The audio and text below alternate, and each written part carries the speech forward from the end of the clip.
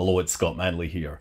SpaceX's most recent Starlink launch has not gone according to plan. According to a news release yesterday, they are going to likely lose 40 out of 49 satellites they launched. That's over 80% of the satellites are going to deorbit in the coming days if they haven't already deorbited. And this is because of an unfortunate uh, solar event which they didn't really anticipate the effects of.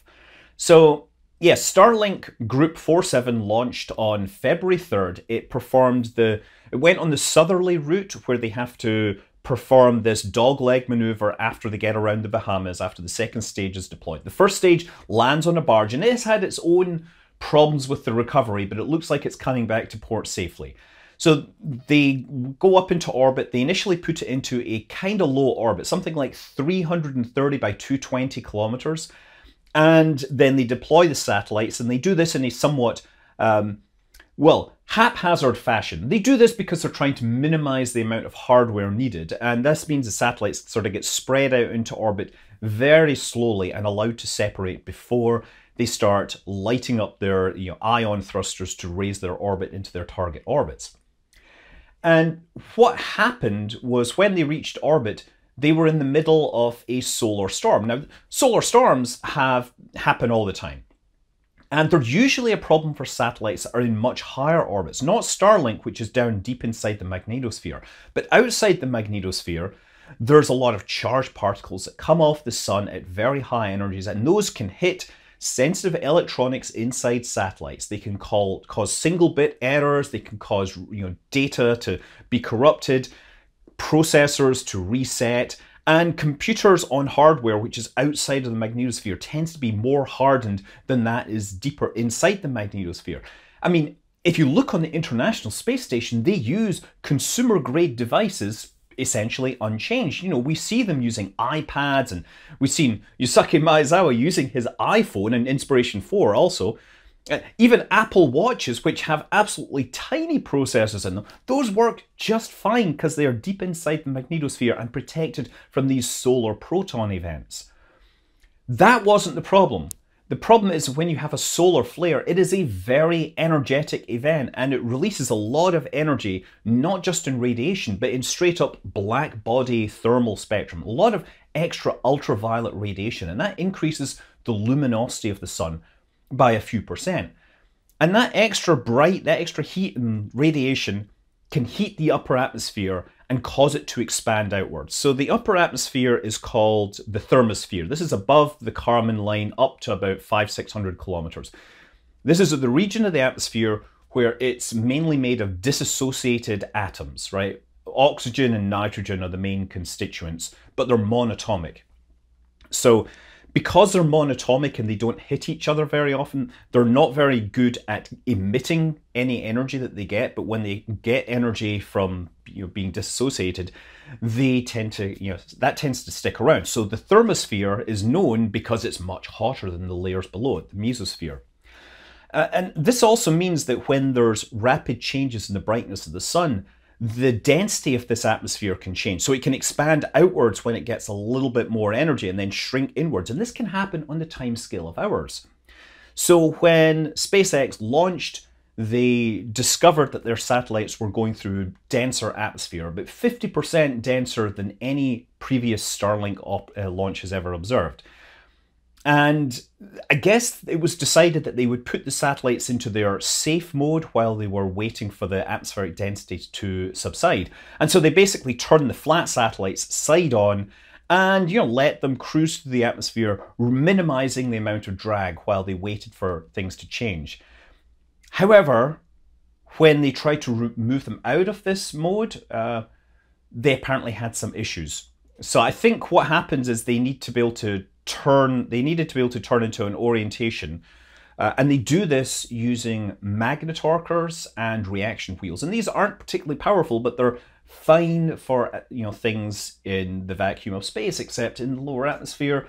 There's just enough drag that they that was able to overcome the reaction wheels and magnetorquers that Starlink had. So they couldn't turn into an orientation to deploy their solar panels properly and start raising their orbit. And that meant that without being able to raise their orbit, they've descended and they're not going to be able to get out of this. uh, and so, yeah, um, about 40 of uh, 49 is are believed to be the numbers that we've, we've seen that they won't be able to make it to to space or won't be able to make it into the higher orbits where they can actually become operational. So SpaceX put out a press release about this and they've basically said, well, this proves that SpaceX are being good patrons, good custodians of low Earth orbit.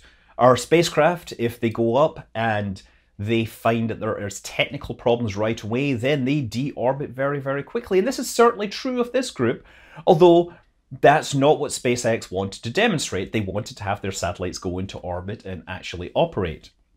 Uh, it is interesting that this is one of the lower insertions that we've seen in recent years. And you know, if you look over time, Jonathan McDowell, of course, the custodian of, of all, you know, basically space police. He's the space orbital police, right? He has all the best graphs. And you can see from his graph the deployment altitudes and variations in atmospheric density, which are derived based on solar luminosity data from for the last few years. So um, yeah, it, it could be that in future launches, they have to choose to launch them into slightly higher orbits to avoid these high drag scenarios during this. Because while this launch experienced conditions which were 50% higher than any previous Starlink launch, we are still a long way from what we might consider, you know, solar maximum. We're going to see changes in the sun over the coming years, which is going to lead to a more dense upper atmosphere. This is actually similar to something that happened to Skylab. Of course, Skylab was launched and was left in orbit under the assumption that the space shuttle would come online and be able to boost it to a higher orbit. However, a higher or more energetic than anticipated solar maximum led to the atmosphere of the Earth ballooning outwards and causing increased drag, causing the Skylab to eventually sink down and deorbit before the space station could get ready. Now, of course, part of the blame, that, that's trying to blame the sun, but the truth is NASA just took a really long time to get the space shuttle going. So they're going to have to accommodate higher and higher atmospheric densities over the coming years. Therefore, they will probably raise their insertion uh, orbits a bit to account for this. I'm not sure how much leeway they have, how much margin they have with the current trajectory. They had to lose a bunch of satellites to be able to take this southern route to avoid the rough seas in the North Atlantic. But if it's possible, they might have to lose a couple more satellites to be able to raise the orbit high enough that they don't have to worry about this in future launches. Uh, it, obviously, that's going to be something to see. So yeah, this is an interesting other factor of this that the the outer atmosphere, so the outer atmosphere is largely entirely driven by solar activity. It is almost completely decoupled from the lower atmosphere. Like local weather doesn't tend to affect. I guess the eruption in Tonga may actually have interfered with the upper atmosphere. It'd be interesting to see if that's affected it. I very much doubt it. But the, the these are largely decoupled, except that long-term climate change is actually apparently making the mesosphere shrink down a little. So the mesosphere and the thermosphere sit on top of the lower stratosphere. And when you get increased amounts of thermal absorption, infrared absorption, that means that more heat remains in the lower atmosphere, so the higher layers of the atmosphere get colder and tend to shrink down. So it's expected that over time, as uh, you know, the Earth's atmosphere warms, that we're actually going to see a less and less dense thermosphere and mesosphere, and therefore satellites will actually take longer to deorbit. So yeah, this particular event, completely unrelated to any claims of climate change, right? Let's just be clear on that.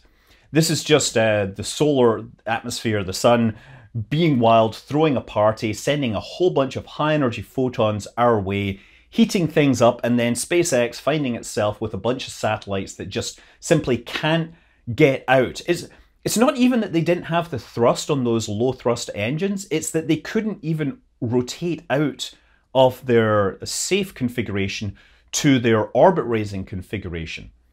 SpaceX, they use Krypton thrusters rather than Xenon thrusters. That's a design decision where they use much cheaper propellant in exchange, and the price they pay is they have lower thrust, and that's fine later on, but it could actually have, it might have made the difference in this case, right? It might be that if they could get out of this orientation, they would be able to raise their orbits if they had higher thrust engines.